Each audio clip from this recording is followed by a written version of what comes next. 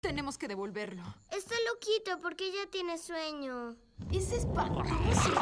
Y no podré dormir si está suelto en la casa. Tú andas suelta en la casa todo el tiempo. Yo uh. duermo oh, perfecto. Oh, oh, ¿Y tú qué haces? ¡Deja!